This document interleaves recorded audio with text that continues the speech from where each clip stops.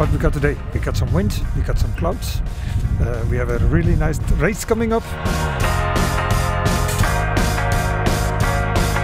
Uh, Dylan was yesterday a little bit sick in the race.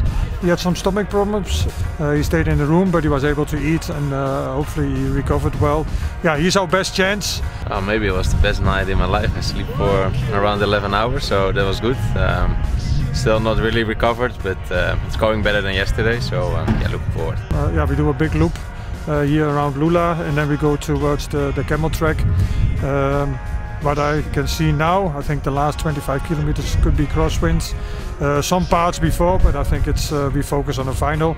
It's up to the other teams to pull, so we got some numbers in the final and help Dylan, and then hopefully um, Simon uh, not losing time, that he stay in a bunch time. Uh, Dylan can win.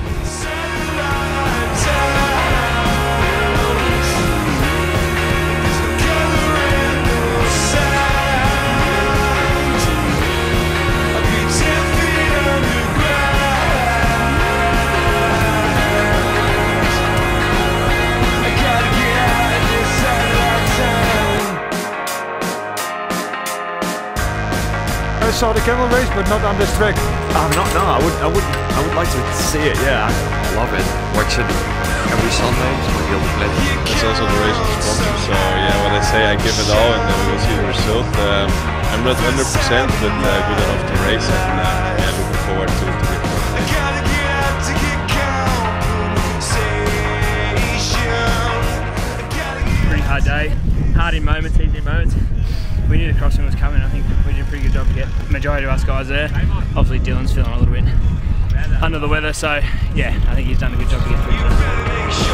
of Jayco AlUla. Got Hamilton locked in on the wheel. They've also got Luka Mezgec and in the front they have got Reinders moving up in the left hand side. Here goes Casper Van Uden. Going for the sprint is Luka Mezgec trying to give a victory for Jayco AlUla. But it's Tim Merlier. Merlier going all the way to the line. Merlier celebrates, makes it look very, very was not super crazy the crosswind, but because of the high speed, uh, yeah, the, the group was uh, splitting up. Unfortunately, Dylan, he still doesn't feel super, but uh, I have to say the boys did a great race. And then, okay, in the sprint, we were hoping a little bit more with Luka, but uh, they did what, uh, uh, yeah, what they had in the legs. So. Yeah, after a while, sprinting. In the end, Elmar did a great job just protecting me of the crosswind. Maybe I hesitated uh, two seconds too long and uh, I got a jump on, but legs are getting better day, but in two days uh, it's very important with uh, Yatesy. I didn't see any camels, but some other really wild and crazy animals. No, I think I did. Not a single one since we've been here. Didn't see one camel, huh? It's a good pose. It's classic, mate.